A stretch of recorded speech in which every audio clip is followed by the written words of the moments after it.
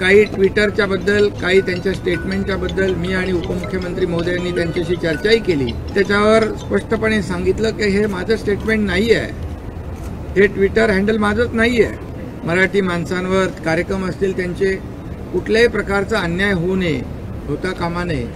पक्षीय राजकारण न करता मराठी माणसाच्या पाठीशी खंबीरपणे उभं राहिलं पाहिजे. सर्वप्रथम मी केंद्रीय गृहमंत्री मोबाईल बॉस अमित शाह साहेबांना धन्यवाद देतो. त्यांचे आभारही आम्ही मानतो. कारण जे आज त्यांनी बैठक बोलवली मी आणि उपमुख्यमंत्री देवेंद्रजी आणि कर्नाटकचे मुख्यमंत्री आणि त्यांचे गृहमंत्री. आणि या जो काही गेल्या काही दिवसामध्ये कर्नाटक आणि महाराष्ट्र यामध्ये ते काही घटना होत होत्या या पार्श्वभूमीवर महाराष्ट्रातल्या जनतेला त्रास होऊ नये. त्याचबरोबर मराठी? भाषेचा सन्मान आणि मराठी माणसांवर कुठलाही अन्याय होऊ नये. अशा प्रकारची भूमिका राज्य सरकारची आमची होती. आणि गृहमंत्री महोदयांनी देखील त्या चर्चेमध्ये जी सर. आणि मुख्यमंत्री कर्नाटक यांनी देखील ते मान्य केलं.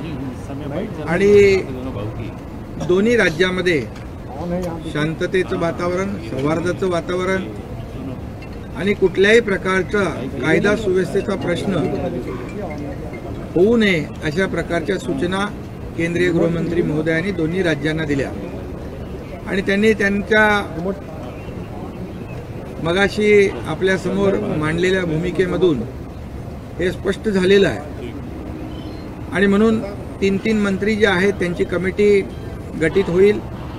आणि जे काही मुद्दे आम्ही मांडले मराठी शाळा असतील मराठी भाषा असतील मराठी भाषा असेल मराठी माणसांवर कार्यक्रम असतील त्यांचे कुठल्याही प्रकारचा अन्याय होऊ नये होता कामा नये अशा प्रकारची भूमिका आम्ही स्पष्टपणे त्या ठिकाणी मांडलेली आहे. आणि सर्वोच्च न्यायालयामध्ये हे प्रकरण आहे. त्याचा कुठेही अवमान होऊ नये. याची काळजी दोन्ही राज्यांनी घेतली पाहिजे अशी भूमिका देखील केंद्रीय गृहमंत्र्यांनी घेतली आहे. आणि ते कर्नाटकच्या मुख्यमंत्र्यांनी देखील मान्य केलेली आहे. आणि आम्ही काही ट्विटरच्या बद्दल काही त्यांच्या स्टेटमेंटच्या बद्दल मी आणि उपमुख्यमंत्री महोदयांनी त्यांच्याशी चर्चाही केली कर्नाटकच्या मुख्यमंत्र्यांच्या बरोबर. त्यांनी त्याच्यावर स्पष्टपणे सांगितलं की हे माझं स्टेटमेंट नाही आहे हे ट्विटर हँडल माझंच नाही आहे आणि अशा प्रकारचं कुठलं स्टेटमेंट केलं नाही म्हणून केंद्रीय गृहमंत्र्यांनी देखील स्पष्टपणे ही बाब या ठिकाणी मांडलेली आहे. आणि कुणीतरी याच्यामध्ये आगीत तेल ओतण्याचं काम करतंय. आणि म्हणून मराठी माणूस जो आहे मराठी भाषिक आहेत आपल्या त्यांच्या भावनांशी खेळण्याचा कुणी प्रयत्नही करू नये. शेवटी सगळ्यांनी मिळून एकजुटीने हे जे काही हा विषय आहे त्याच्या पाठीशी आपण सगळे महाराष्ट्रातले सर्व लोक आहेत. आणि माझंही निवेदन सगळ्यांना आहे की यामध्ये आपण सगळ्यांनी मिळून कुठलेही पक्षीय भेद न ठेवता पक्षीय राजकारण न करता मराठी माणसाच्या पाठीशी खंबीरपणे उभं राहिलं पाहिजे. त्यांना जास्तीत जास्त आपल्याला काय मदत करता येईल सहकार्य करता येईल हे तर सरकार करणारच आहे. आणि म्हणून आजची जी काय बैठक झालेली आहे अतिशय सकारात्मक बैठक आहे.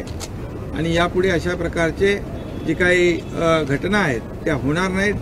आणि दोन्ही राज्यातली जनता जी आहे नागरिक आहेत त्यांना कुठलाही त्रास होणार नाही याची काळजी